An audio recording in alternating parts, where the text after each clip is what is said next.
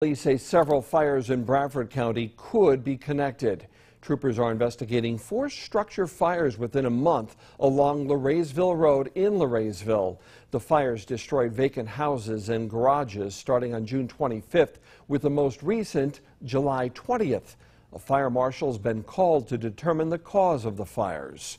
We have beliefs that the, the fires could be related at this time. However, uh, we have not officially designated that at this time. As I said, evidence has been collected and is currently being analyzed, um, and the investigation is moving forward with the fire marshal's unit. State police encourage anyone with information about the fires to contact them. A